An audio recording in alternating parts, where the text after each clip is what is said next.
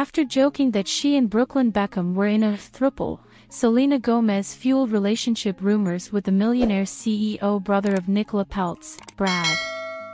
The 30-year-old singer of the hit song, Good For You, and Brad, 33, the son of investor and billionaire Nelson Peltz, recently enjoyed Thanksgiving together.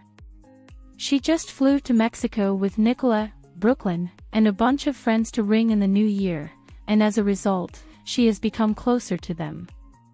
Fans continue to conjecture that Selena is romantically involved with Brad, the brother who used to play hockey and is Nicola, according to the popular culture podcast Not Skinny But Not Fat.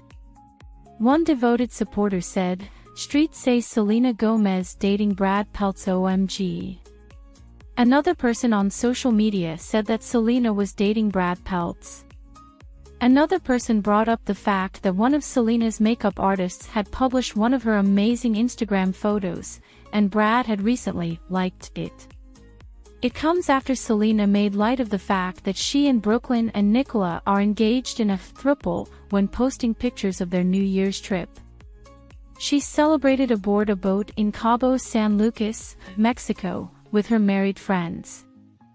Selena nestled up to her married friends in a number of celebratory photos. In one one, the group was seen cuddling while lying on a net over the sea on their opulent boat. The Good For You singer joked in her post just days after revealing she was now ready to move on and try to find love again, five years after splitting from Justin Bieber.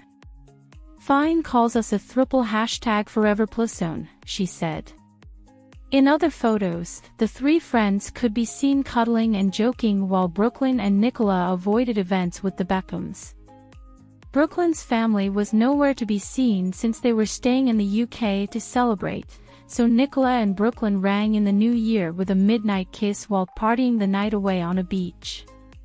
During the fireworks, Brooklyn, 23, and Nicola, 27, engaged in intense PDA and were seen kissing, with Brooklyn cheekily groping his wife's butt. Selena, the couple's closest friend, joined them as they watched the show before spending time on the boat.